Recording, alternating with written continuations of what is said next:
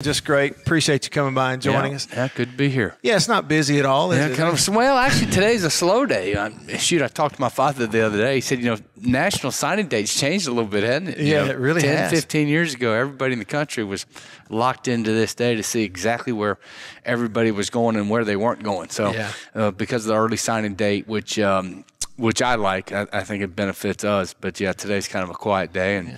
pretty predictable and um, and a good day for us. Is that um, is it fair to say that's a successful signing day when it is predictable? Very much so. yeah, you, the unpredictable days, uh, for the most part. Uh, don't benefit you, although yeah. they benefit some. You know, there, yeah. there's some guys that it goes both ways. It can, it can. Um, and if you're an elite program, I, I remember they said at Ohio State, back in the day, they said Urban Meyer was really opposed to the early signing date because he loved to evaluate and recruit late guys committed to other schools. Mm-hmm. And he didn't want an early signing. He wanted to go all the way to the end and, and chase the guys that he really wanted at that time. So uh, it benefits us. Uh, we can evaluate our guys, get them on our campus, and uh, and as they develop to become good players, uh, they're signed with us. So we got them, and we're yeah. happy to have them. And so receivers, you know, that's one thing I think uh, I'm curious to hear. Sometimes for some fans that may not know one way or the other, like they assume, okay, you're a receivers coach, you recruit receivers, but it doesn't always work that way. You recruit an area, you recruit a position, a little bit of everything. a little bit of everything. We all have an area, and we recruit our area, and, and we'll double up on a player in our area that plays another position. Okay. Uh, but I will recruit all receivers uh, that I will coach. So okay. uh, wherever they are, and I will go see them in the spring, uh, whatever area they're in.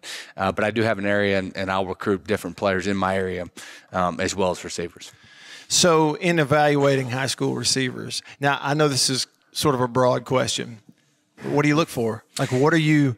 What makes a guy the light bulb comes on yeah. and says we got to have him? Well, re- receiver is one of the probably the only position I can think of that height, weight, shape, size, speed.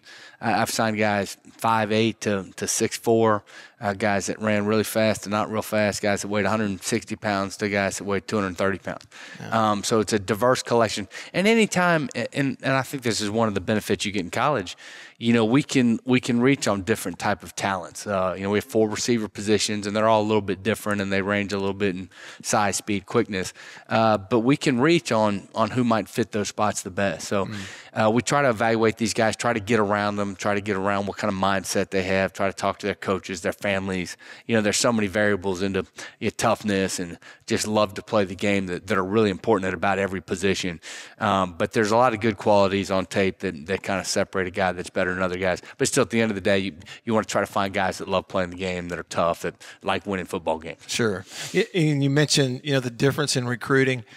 The calendar is so much different. Okay, so the the early signing day, I guess, you know, kind of going back to that for all positions, it it does it sort of take the intensity away maybe from the late January, those last couple of weeks of January, as opposed to what it used to be? it adds intensity to December though, uh, and that's where our so intense one hundred percent that that is our intense month. Absolutely, it, it takes away from January uh, if you have a good class in, in December, which we signed. But it also makes those that last month, those last weeks, those last official visit weekends, those those are critical to, to who your class is going to be. Sure. Steve Spurrier, Jr., receivers coach, Mississippi State, now passing game coordinator. That title uh, added this week. What does that? You know, what does that mean to you and to your responsibilities? To you know, passing game coordinator is pretty obvious what it is, but in terms of what you were uh, handling? Uh, probably does not change a lot of what I've done and what I will do. Uh, but it's but it's a compliment. It's a compliment from from Coach Leach. It says here's a guy that's that's qualified to run my offense one day, and, and that's that's what I appreciate. You know, if you're a receiver coach.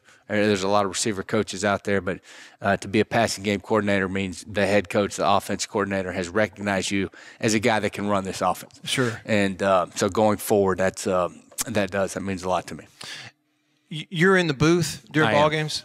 And see, normally I would know that in the radio booth, we're right next to you yeah. guys. But you know, some staffs like to pull the shades, and then others will leave it open. We can see you over yeah. there, you know. And I, I know that I, I thought you'd been upstairs, you know, during the games, and you know, from a from a viewing the game and evaluating it during the course of the game, you got to see the whole field. And I guess if you're on the side, there are advantages to being on the sideline, but you can see the whole field and what's going a little better if you're up in that booth, I guess. You can. And and I talked to Leach and, and I'm probably the one guy that talks to him, and he said, you know, we'll we'll figure things out. But I'm kind of his eyes up there. Okay. Um, I've been on the field three or four years of my career, but I've mostly been in the box, and th- there's benefits both ways. Uh, to me, as a coordinator, I, I, think you need to be on the field just to communicate with your players and, and kind of look them in the eyes. Uh, but being in the box is, and it's calm and it's organized, yeah. and and, and what you see and, and, the the information you can communicate to the field is is, is a little different. So, um, yeah, my wife's always getting on me. She's like, "Now you need to be on the field. That's you know that's where all the important people are." I'm like, "Let me explain what I do here," and, and yeah. that's this is as long as I'm with Leach, that's probably where I'm going to be. But sure, um, sure. But it's good. It works well, and uh, we, we see things similarly, and, and the things he asks and the information I give him, I think is what he wants. So it's it's been good. So your position, coaching those outside receivers, and then working so closely with that inside receiver group as well. Um, and there's a change over there. Coach Nichol moving west, and uh, Coach Hollingshead is moving up to an on-field position.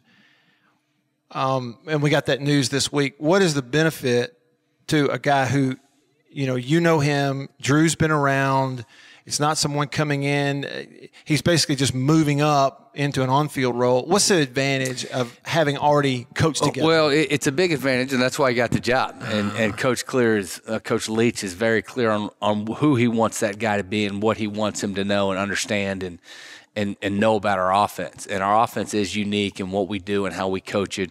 Uh, and, and, Drew's been around it for, for several years, and, and, he knows how those guys are coached, and he knows what those guys are expected to do. So that, that was that was really important to who he is. That's you know I coached with Coach Leach. My tie to him is I was receiver coach in 1999 at Oklahoma, and and when he was at Washington State and had an opening, it called me.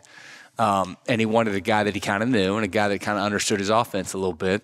But I'll never forget when I got there and this is 2017, I guess.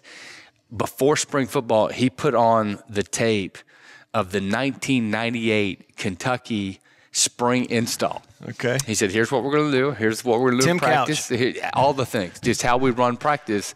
Um, and and I was like, that's exactly the way it was the next year, 1999 in Oklahoma. I'm like, I, I re- remember what we're doing. So wow. no, he has he has a certain way he does things, and he's done them that way forever.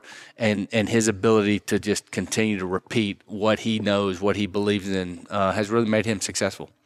It's really something to think about too. Uh, you know, I would imagine that's unique for a coach in 2017 that's using stuff from 100%. You'll never, you won't meet another guy that can do it like that. That can do that. No.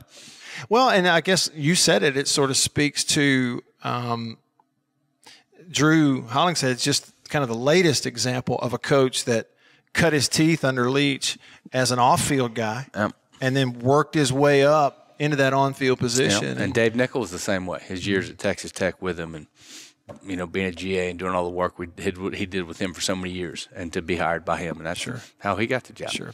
Steve Spurrier Jr. on your radio right now. He coaches receivers here at Mississippi State.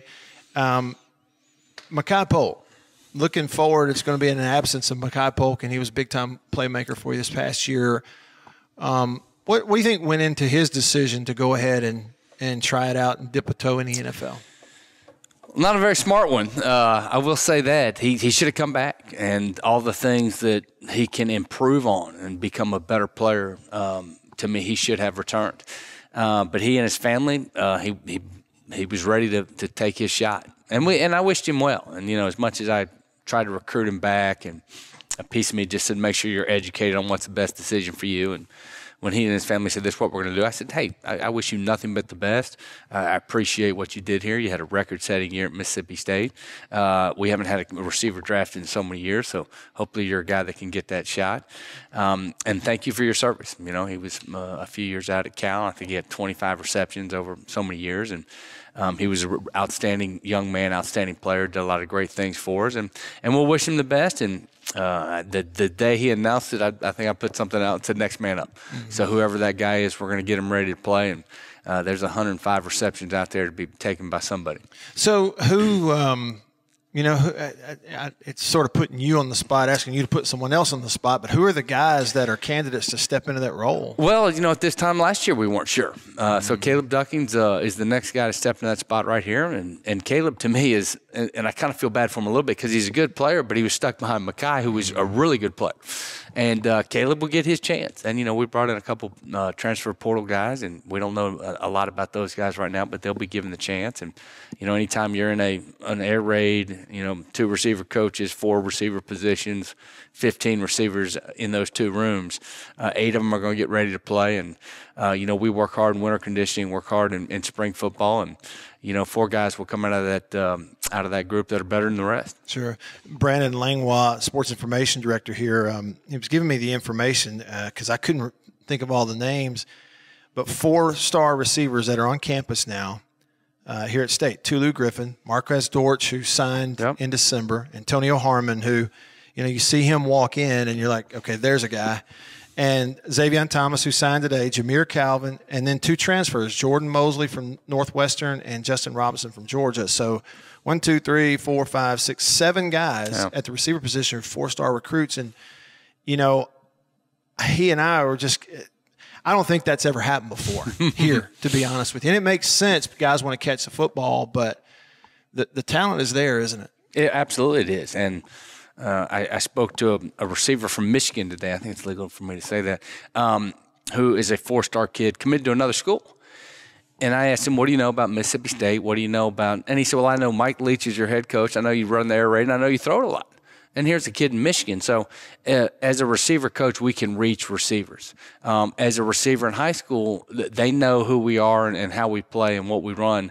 And they want to be a part of an offense that that just as you watch it provides receivers an opportunity to just get the ball in their hands a lot.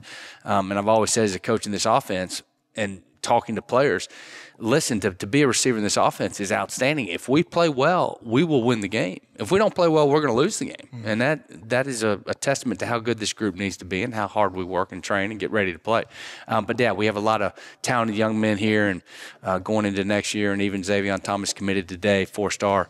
Um, and he, he reminds me of Deebo Samuels. You know, he's kind of thick in the lower body and, and can do a lot of those things. So, you know, we'll have a lot of guys that come and compete, and uh, we'll put the ball in their hands and see how they play, and we'll put them on the field and we'll let them play the game. And uh, somebody will come out a little better than the others, and uh, hopefully they'll catch 100 balls next year. Well, and, and somebody will. We know that. And I guess knowing that somebody will sort of ups the ante when the competition actually begins in a few weeks in spring practice, doesn't it? It does. Um, but honestly, the, the, some of the best teams we had at Washington State, we had a lot of really good receivers, and I had two guys that played the Z position. One had 64 receptions, one had 72. So, so, to me, that's almost better than having one guy. Now, if you have one elite guy, which is what we had last year, he got all the balls. But I would love to have two guys that did. Yeah. And um, I'm trying to think at, at, Washington State, we had 10 players with over 20 receptions one year, and that's that wow. that is remarkable. So now we're looking forward to spring and letting them compete, see where we are. Well, we're looking forward to it also. I really appreciate you stopping yes, sir. by. Always good to be here. Yeah, great to talk to you. That's Coach Steve Spurrier Jr. He is the uh, receivers coach, now passing game coordinator here at Mississippi State.